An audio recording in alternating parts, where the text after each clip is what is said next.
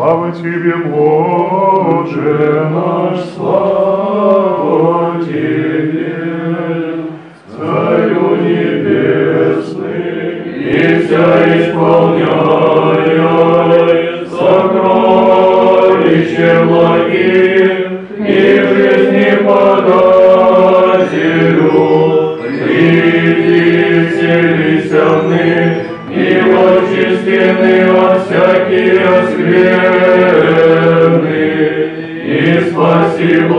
Amen.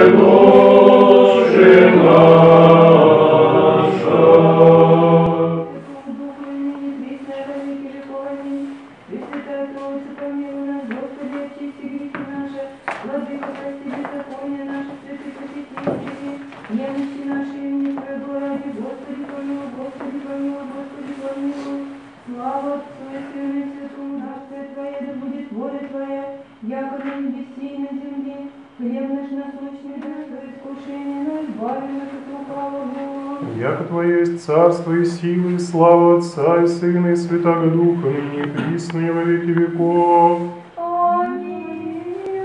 О слышном мире и спасении душ наших Господу помолимся. О мире всего мира, благостоянии святых Божьей Церкви и соединении всех Господу помолимся. О святем храме всем и с верой благоговением ходящих воин Господу помолимся.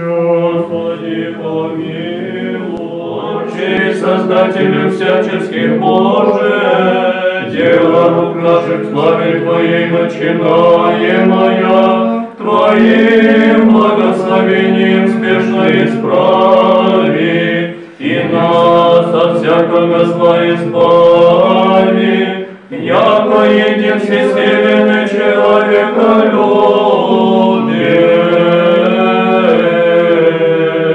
Слава Отцу и Сыну и Святому Духу, и ныне, и присно, и во веки веков. Аминь. Скоро и заступление крепких помощь, предстань благодати силы Твоей ныне, и благослови,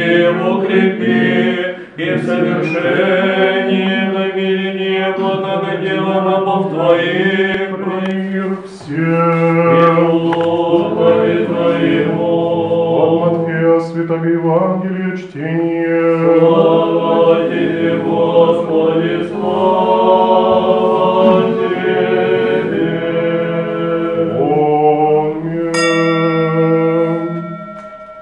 Рече Господь, просите и вам, ищите обрящите, толците отверзится вам, всяко прося приемлет, ища обретает, и толкущему отверзится. Или кто есть от вас человек, его же аще вас просит сын его хлеба, и да камень подаст ему, или аще рыбы просит, еда змею подаст ему. Аще оба вы лукаве сущи умеете даяние благодаяти чадом вашим, кальми паче Отец ваш Небесный, даст благо просящему Него. Слава Тебе, Господи, слава Тебе. Помилуй нас, Боже, по велице милости Твоей, молимся, услыши и помилуй. Господи, помилуй, Господи, помилуй, Господи, помилуй. Еще молимся о великом Господине, Отце нашем, святейшем Патриарсе Кирилле, о Господине Высокопреосвященнейшем Германе, Митрополите Волгоградском и Камышинском, и о Господине нашем Преосвященнейшем Елисее, Епископе Урюпинском и Навальнинском, и о всей во Христе братья наши. Господи, помилуй, Господи, помилуй, Господи, помилуй.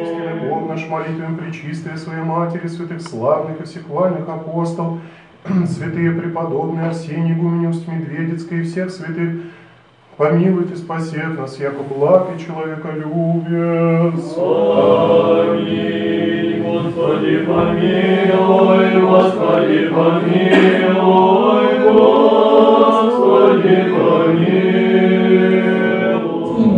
за Христа пострадавший, гонений на русскую православную церковь 1917-1956 года. Объявляется открыт, открыт. Участники нашей образовательной конференции сердечно рад приветствовать всех вас э, как на правах соучредителя данного мероприятия. Нынешний год ознаменован тяжелой датой, столетием э, великого краха Великой империи э, и великого народа. И вот э, позвольте процитировать слова нашей святой, которая прославлена была в прошлом году, э, преподобная игуменя Арсения Усть-Медведицкая. Она в своих письмах написала такие слова.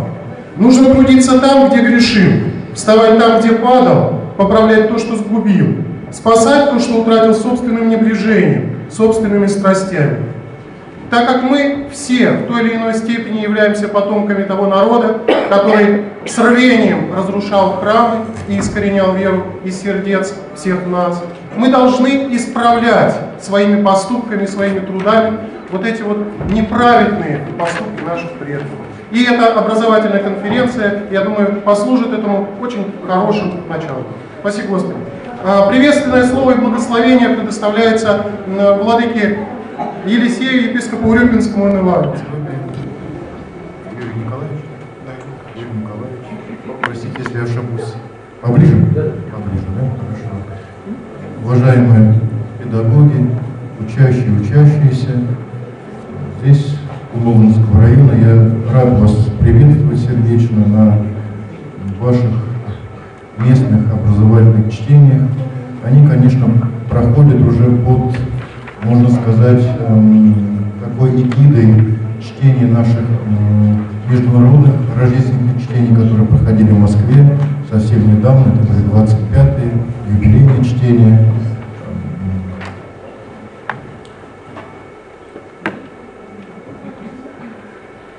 Они были посвящены как раз вот этой трагической дате. И, и проходили под девизом 1917-2017 год уроки столетия. Много было сказано, я присутствовал и на пленарном заседании, и работал по секции. У меня, кстати, вот тоже есть секция, которой я вот постоянно там присутствую, работаю, общаюсь. Это секция казачья, так как у нас край казачий, и вот так, у такое благословение священном начале нашего именно работать в этой секции. Ну и, конечно, общая тенденция такая, именно нам как-то вот осмыслить это событие, которое произошло сто, лет назад. Называть его можно по-разному. Переворотом Октябрьской революции. Мы не хотим никого сейчас осуждать, судить. Нам главное осмыслить уроки этого именно прошедшего периода времени. Что произошло? Ну, как это повлияло? Были и положительные факторы, были и отрицательные. Но то, что произошла трагедия в 1917 году, это, конечно, несомненно. Почему трагедия? Потому что изменился, изменился строй нашего государства. Порядок какой-то.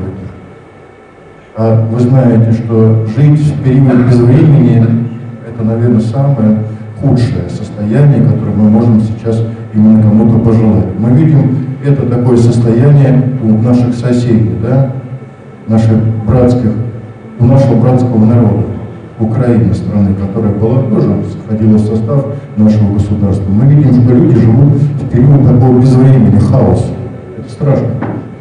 Мне бы не хотелось, чтобы мы тоже попали в такую ситуацию.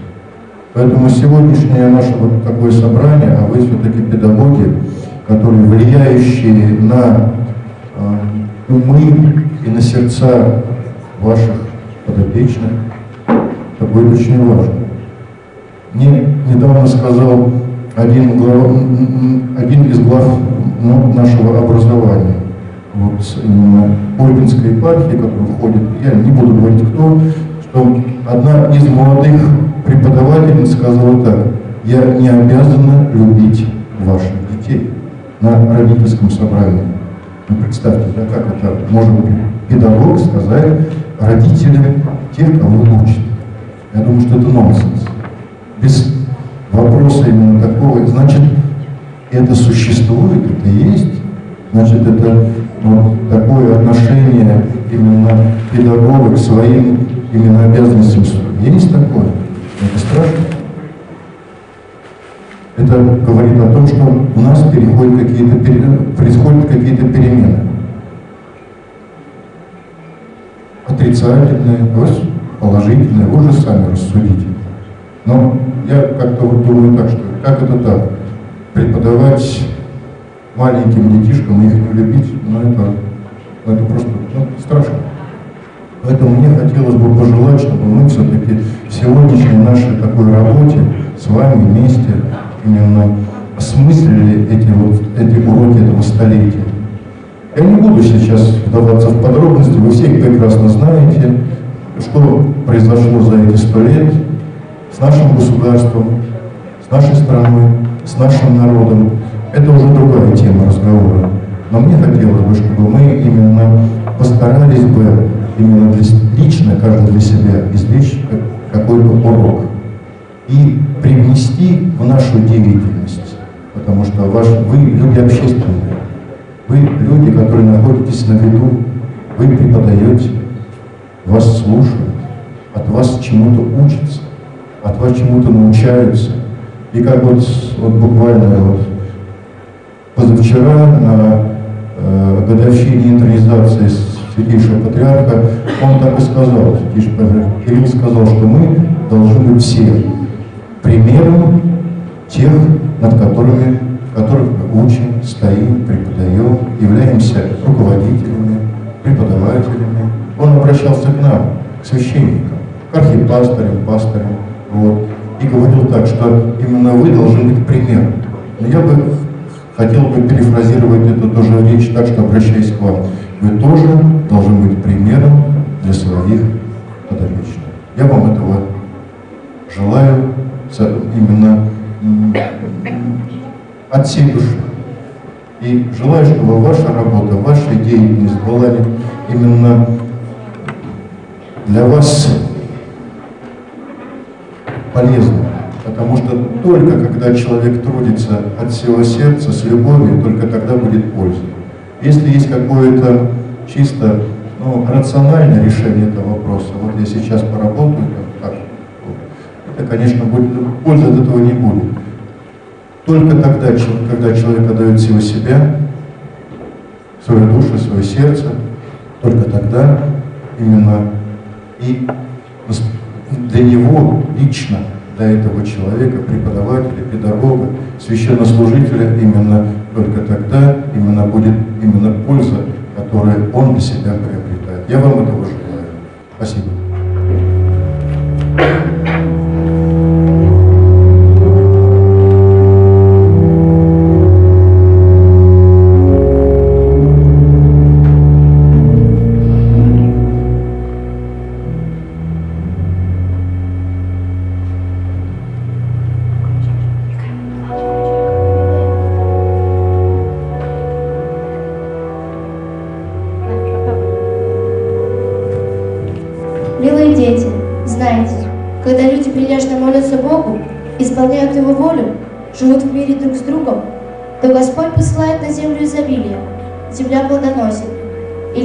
Бывают сыты, довольны.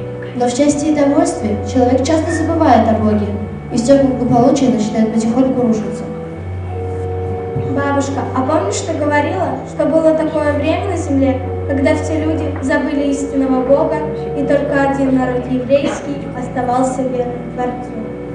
Да, они верили, но порой Глядя на соседние нечестивые народы, они брали плохой пример, и тогда их постигали различные бедствия. Бедствия? Ну вот, пример, скажу вам историю, как евреи оказались и как Господь чудесно водил после того, как они начали горячо молиться. Ой, как интересно. Расскажи, бабушка. Было это давно, на берегах Нила, в Египте, когда страной управлял фараон, а главным советником у него был благочестивый и верный Богу еврей Иосиф. Был в Египте великий запас хлеба, а по всей земле был голод. Тогда Иосиф перевел страну египетскую, своего отца и братьев семьями. Шло время, фараоны сменяли друг друга. а народ еврейский размножился весьма.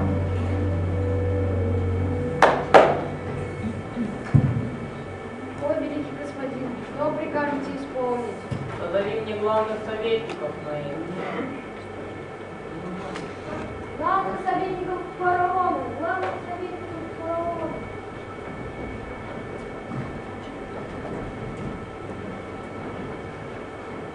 Дошел до меня слух недобрый. Говорят, еврейский народ доставляет нам некое беспокойство. Что скажете? Да они расплодились по всей египетской земле. Скоро их станет больше, чем нас, египтян. Они едят наш хлеб. Скоро нам самим есть будет нечего. Но они же наши рабы служат нам, строят разные служения и прочее. Мало они работают, все хотят своему Богу служить. А вы знаете, что они наших богов не почитают? Достаточно. Опасаюсь я, как бы они не перешли на сторону врагов государства. Что предлагаете вы? Давайте их изгоним. Да вы что, а кто раб- будет работать в поле, строить города? Да нужно наоборот загрузить их побольше работы, чтобы никогда Богу не поднимали. Хороши ваши советы, до этого не- недостаточно. Я вот что повелеваю. Первое. Пусть еврейские рабы работают от захода солнца без выходных и праздников. Второе. Кто будет сопротивляться, пусть насмотрщики бьют таковых нещадно. И третье, и самое главное, бивать всех новорожденных еврейских мальчиков. Тогда через несколько лет их станет не так много. О, как ты премудр. Твоя мудрость превосходит всех царей мира. Твоя слава поминается в веках.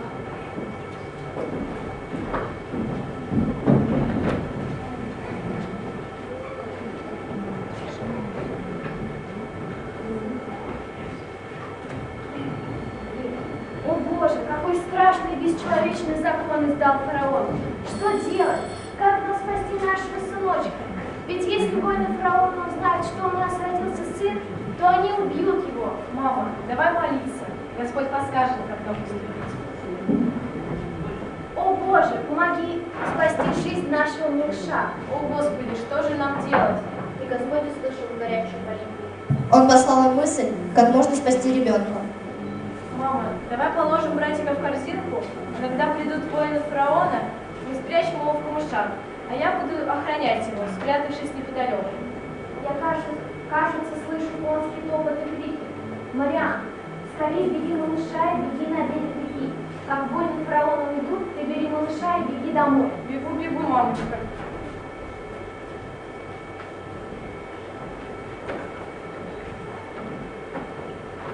Ах, как же здесь красиво, как чудесно поют птицы. Давай прогуляемся, вон такой тучи. Здесь неподалеку находится еврейское селение. Хорошо подвергать вашу драгоценную жизнь опасности. На своей земле я никого не боюсь. Я, кажется, слышу плач ребенка. Пойди посмотри.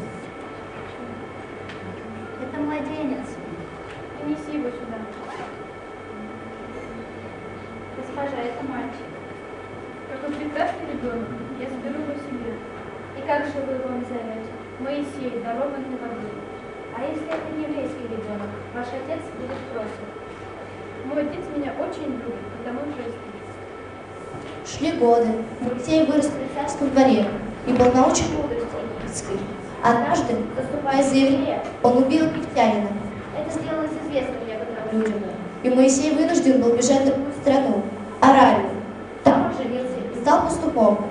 Однажды, когда он пас скот у горы Харива, ему явился Господь и повелел идти к фараону и вывести еврейский народ из Египта. При этом Бог дал Бог дал Моисею силу творить чудеса и знамения, а также дал помощь брату его, Араон.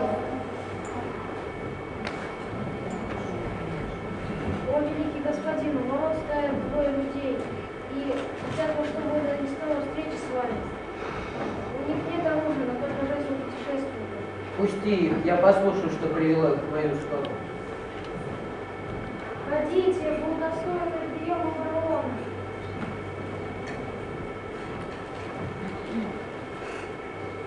Чем вы осмелились беспокоить меня?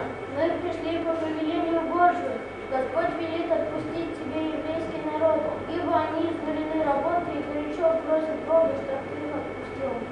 Что? Отпустить евреев? Уходите прочь, я не знаю вашего Бога, и народа еврейского не отпущу.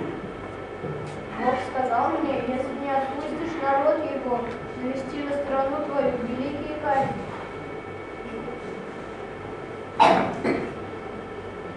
Так, значит, прибавить работу рабам еврейским, чтобы они забыли про Бога своего и про свободу. Бабушка, какие фараоны были жестокие. И Бога за всех не боялись. Что же было после этого? А после этого Моисей по повелению Божьему навел на Египет последовательно 10 казней, то есть великих бедствий. По слову Моисея, вода в реках, озерах и колодцах превращалась в кровь. Град и саранча истребляли растительность. Наступала трехдневная тьма по всему Египту.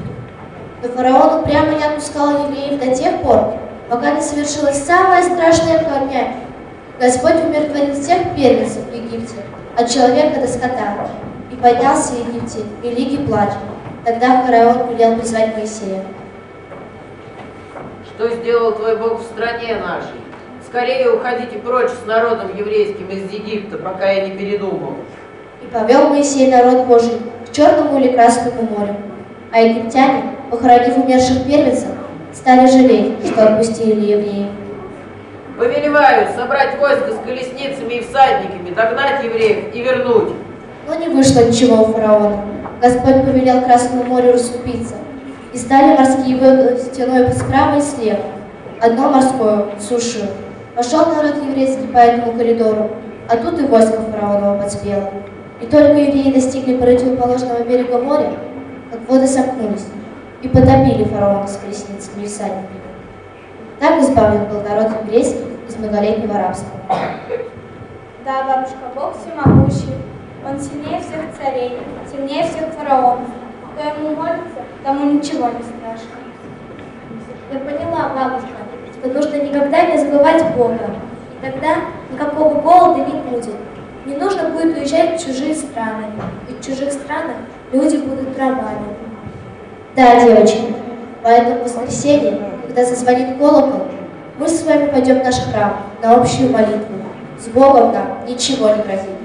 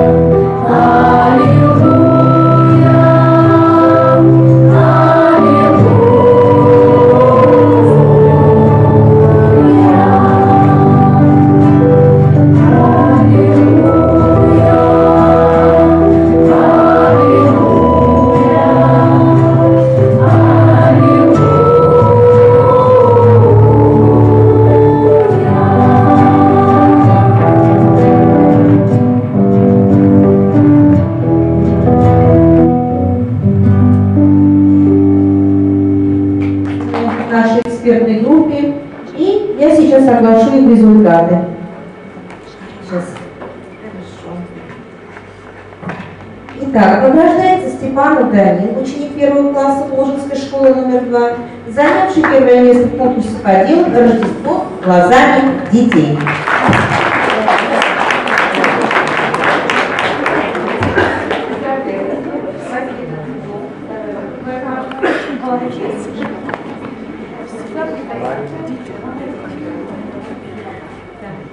Дипломом награждается Фирсов Илья, ученик третьего класса, Ложинской средней школы номер два, занявший первое место в конкурсе рисунок «Рождество глазами детей».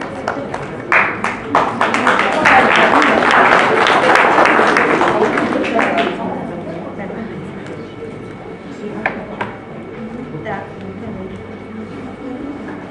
Награждается Супочева Елизавета, ученица второго класса Кумужинской средней школы номер один, занявшая второе место в конкурсе по делам «Рождество глазами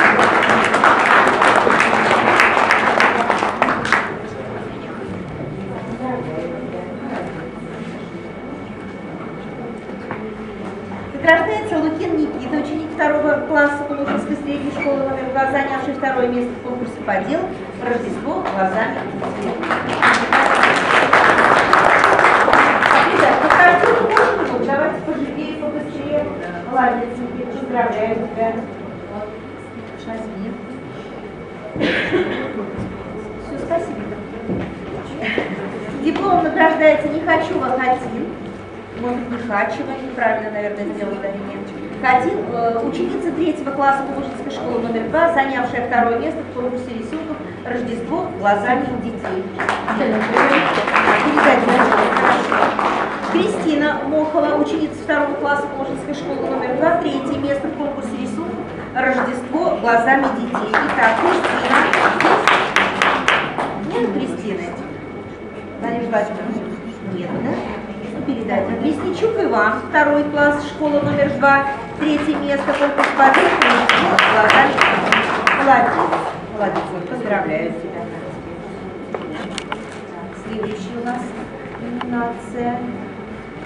Кузнечикова Виктория награждается дипломом ученица 8 класса Положинский казачий кадет, кадетский корпус, занявшая второе место во вторых открыт, открытых детских рождественских образовательных чтениях в номинации «Исторический реферат».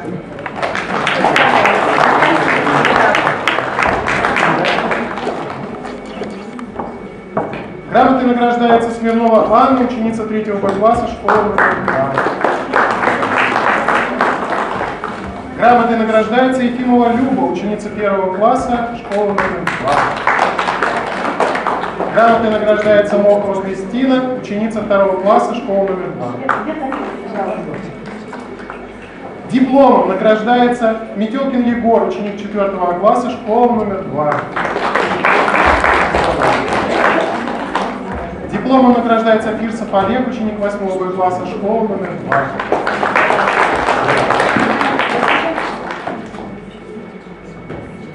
Дипломом награждается Захаров Данил, ученик 8 Б класса школы номер 2. Дипломом награждается Мирзова Ольга, ученица 8 Б класса школы номер 2.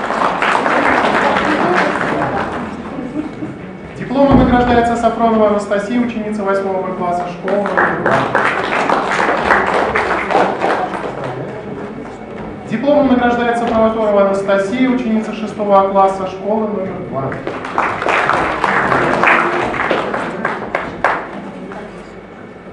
Дипломом награждается Гришина Дарья, ученица 6 А класса школы номер 2.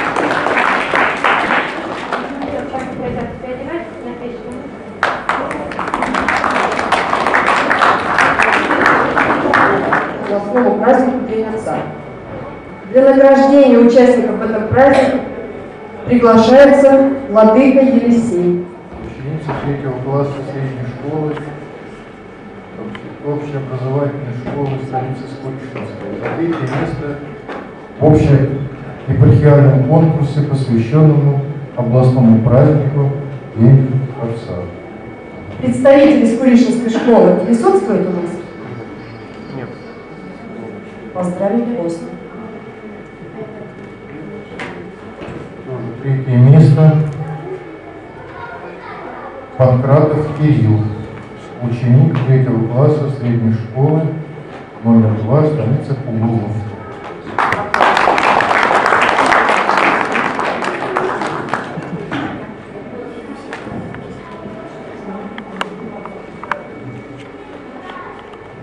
И Милованов Роман, ученик второго, второго класса средней школы станицы Шишинской. За, за второе место в общеепархиальном конкурсе, посвященном областному празднику Деница.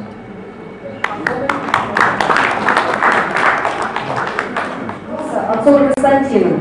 И вот сейчас мы его попросим сказать слово и провести мастер-класс детишек. Произошло до революции самой. Ведь почему все-таки православный народ пришел к тому, что вся культура была разрушена, разрушены были храмы, святыни, уничтожались люди, были какие-то причины ко всему этому или не были. И возможно, что сейчас, когда мы пытаемся своих, своих учить своих детей, воспитывать их, мы можем повторить те старые ошибки, которые делали наши прадеды.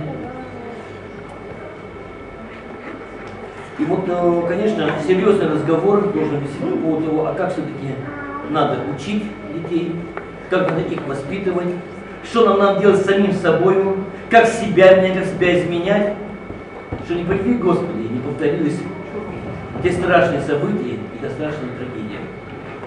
Сейчас я постараюсь, постараюсь провести урок, а там уже как Бог даст. Кто больше? Три всего лишь? Ой, четыре. Так, еще сколько? Двенадцать, говорят. А еще есть? Двадцать уже. Ну, Три, десять, пятнадцать, двадцать. Так сколько все-таки праздников? Двенадцать. А можно назвать какие это праздники? Так Рождество, чье? Христово. Ладно, допустим. Крещение. Дальше. Новый год сюда не относится. Что? Пасха, допустим, пусть будет Пасха, допустим. Так, вы в воскресную школу ходите? Нет. А вы не ходите, значит вы ничего не знаете, ясно? И кто еще? Иван Купала, вы еще вспомнили. Не, милые мои, что-то у вас с праздниками маловато. А может вам поправить? Я думаю, все это хотел одну тему, может поменять тему мне, праздники. Ладно, Э, сегодня мы с вами будем изучать, так, кто из вас самый старший, кто учится, в каком классе учится? Ты в восьмом учишься, ладно, ты знаешь. А самый младший кто? Ну, девочка, понятно. а, Класс, по классу. Четвертый класс, да? Ты третий класс. Первый вообще, замечательно. Ладно, сегодня мы с вами будем погружаться э, в философию жизни философию математики. Согласны? Любишь математику, замечательно. Но при этом мы с вами коснемся философии жизни, 11 классов где проходит, вы сегодня изучите, да? И помимо всего прочего, мы с вами прикоснемся к одному из праздников, и очень важно. Итак, вы знаете, что такое мир? Да. Что это такое? Это мир. А что это такое мир? А когда люди не воюют? Когда, а, когда люди не воюют, да? Если мы с вами не деремся, это мир. Да. Хорошо, согласен. А еще что такое мир? Земля. А то, что земля это не мир? Солнце это мир? Вселенная это мир? А то, что не дышит? Вот скажите, пожалуйста, вот это дышит? Нет. Это мир? Нет. Не мир. А зачем это нужно? Да ее выбросим. Ну, зачем занавеска нужна, если она к миру не относится? Так все-таки она к миру относится или не относится? Теоретически занимает 25%, как замечательно сказано. Значит, нас, друзья, ну давайте я не буду вас долго мучить, потому что если вы долго спрашивать, у нас два часа уйдет, а нам сегодня покороче, потому что люди устанут. Вы-то не устанете, я тоже не устану, не устану. Итак, мир это все, что нас окружает. Так, а что такое жизнь? Это когда мы Живое существо. А вот э, то, то, что, допустим, ну, завести машинку, она живое существо? Нет. А, ну, она мир, не мир? Нет. Она жизнь имеет, не имеет? Нет. Не имеет же. Она же движется. Да. движется. Ладно, друзья, это